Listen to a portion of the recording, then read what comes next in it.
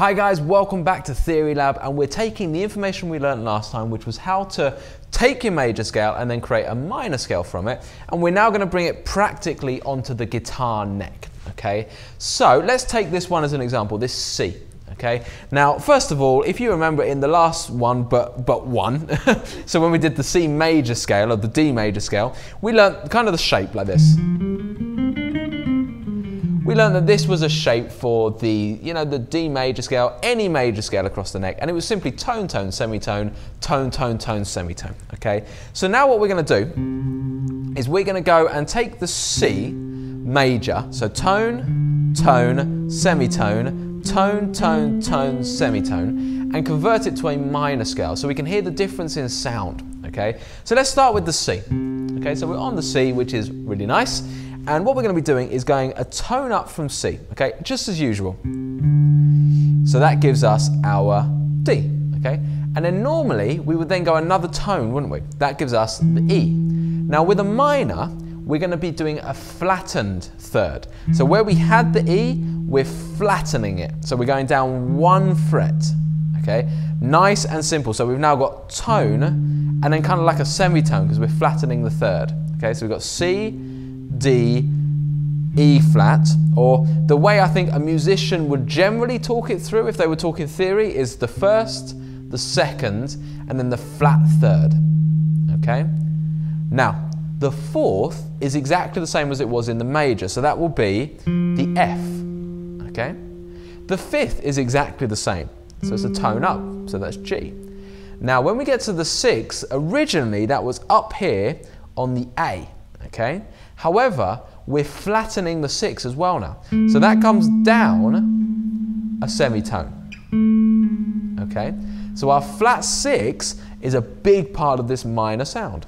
So we've got root, second, flat third, then we've got fourth, fifth, flat six. Now, normally our seven, our major seventh, so the seventh that's tone, tone, semitone, tone, tone, tone, tone, is here, okay?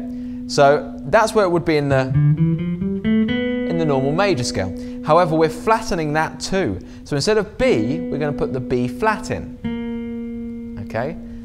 And that's followed by the root again of C, okay? So first of all, in terms of theory talk, we've got root, second, flat third, fourth, fifth, flat six, flat seven, and then root again, okay?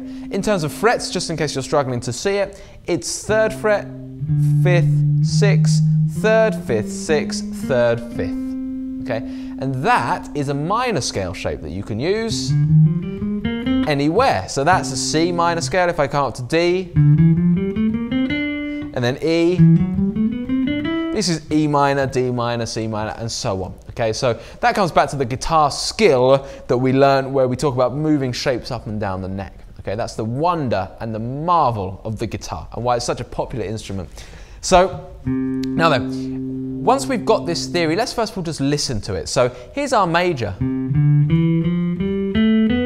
Such a happy, wonderful sound. Now let's listen to the minor.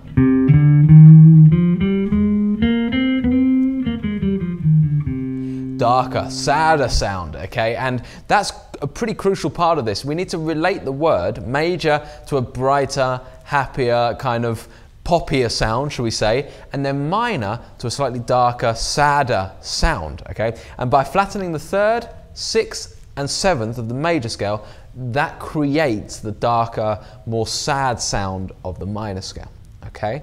So, hopefully that makes sense. And I've got one final point before we kind of finish this first five lesson course. Uh, we will be advancing in the next set of lessons. But the final point here is that because we're applying all of this information um, to a guitar. So we start by learning it on the chalkboard. This is a really visual way of learning it and hopefully it helps you guys really get it into the brain, okay? When we apply it on the guitar, it we, what we're trying to do is make it so practically, if you're ever in a situation where you need to work out a major scale or a minor scale, then you can do it on the guitar. You don't have to go to, the, to your paper or whatever you've got to do it here and then bring it onto the guitar. You can actually do it on here. We've got to start to get to know the guitar um, in terms of tones and semitones so we can quickly work through and find our scales. So the shapes are one thing. Shapes is perfect when you're just dealing generally with majors, minors, and pentatonics or whatever. But if you want to quickly edit and do a different scale, so for example, if we get more advanced and suddenly we need to quickly flatten the four or sharpen the four, you need to know where that is. Okay, so by, by walking through the scale in the way we just did, so saying root, second, flat third, fourth, fifth, flat six, flat seven, root, it means that if I need to sharpen the fourth, I can do it. Root third, sorry, root second, flat third, four, so sharpen the four, and we've got a new scale. Pretty dark scale, right? And that's what all this theory business is going to be.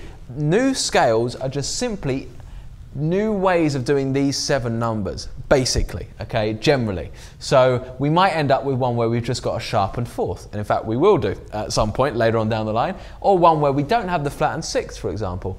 So on and so forth. Okay, so the more you start getting used to talking through the scales in that respect, the easier this is going to be in the long term. So try to apply that knowledge, and I'll see you next time for more Theory Lab.